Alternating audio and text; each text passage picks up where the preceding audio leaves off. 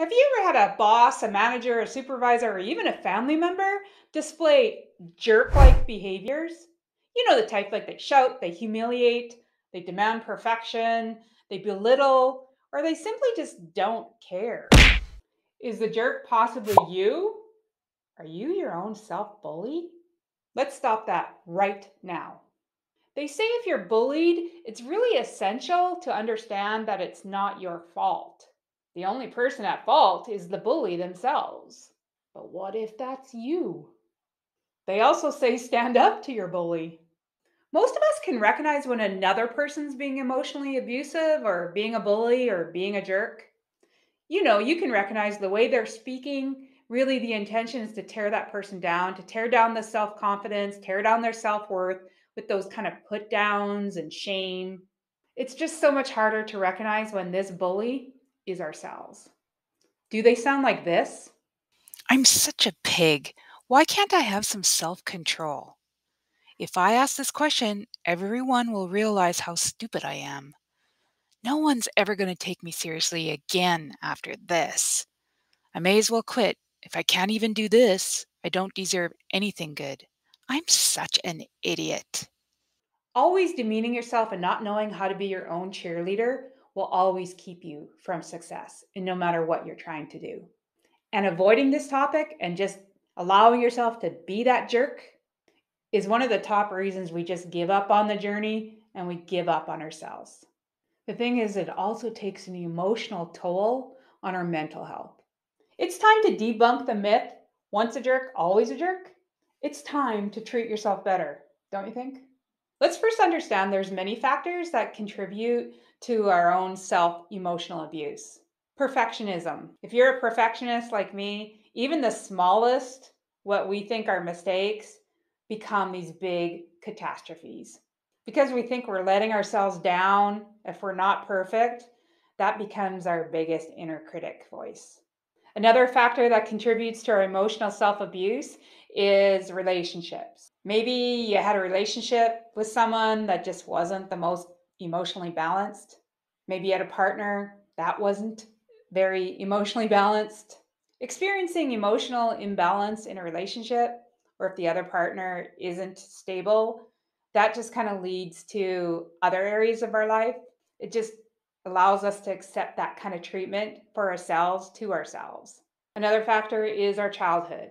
If we had influential adults or parents in our lives that were maybe a little emotionally abusive, neglectful, just had to do the things they had to do, and maybe you were just left a little bit behind mentally, emotionally, socially, it's really easy for those voices to stay alive and that negative self talk to continue. Another factor is mental health conditions. Research tells us that depression, anxiety, kind of being stressed all the time can lead, can contribute to self abusive behavior, that negative self talk that we continue moving on with. Emotional self abuse just doesn't sound or look just one way. Which patterns do you recognize in your own self talk? What about name calling? Would you find yourselves name calling someone else? Probably not, but how many times do we do it to ourselves? And the important thing to understand is that really plays on our self esteem and it will take up a lot of our thought patterns and efforts to be our own cheerleader. We might not think that putting ourselves down, name calling ourselves in front of others is a big deal compared to doing that to someone else, but it plays a big role on how we treat ourselves moving forward. What about self doubt? Research really indicates and highlights the fact that self doubt is connected typically to perfectionism and imposter syndrome. In short, people will set these impossible high goals, and then when they don't meet them, right away they feel like self doubt and that they won't measure up and that they're a failure. Another pattern is unhelpful thinking habits. They're called cognitive distortions, like filtering. When we only focus on the negative, we only use a negative impact versus thinking about it positively. The shoulds, like fixating on, I should do this, I should have done that, I should know better. I should, I should, I should. The shoulds just keep us continually feeling like we can't measure up. Another distortion is global labeling. It's that times when we just judge ourselves based on one event, one thing, And we base ourselves, our self worth, our thinking, everything just on that one event or that one thing. And another distortion is control fallacy. Control fallacy is when we put blame on ourselves when it's really out of our control. Another pattern is self cruelty. A couple clues of self cruelty is when you tell yourself subconsciously or consciously that you don't deserve or that you don't trust it'll happen, or you tell yourself you're going to have a bad outcome. This video isn't about labeling ourselves as jerks. It's about defining jerk like behaviors and seeing that if we have that within ourselves. Take a moment to see if any of these apply to you.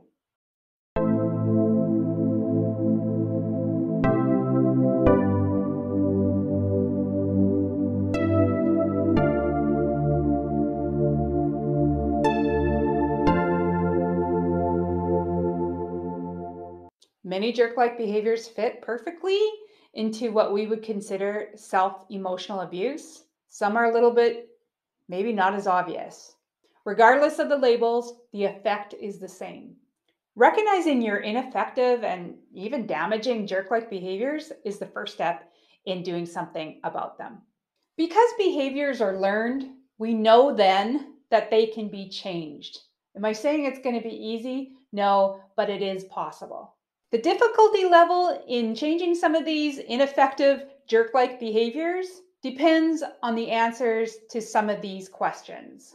How ingrained is the behavior? Have you been acting this way for three years or 50 years?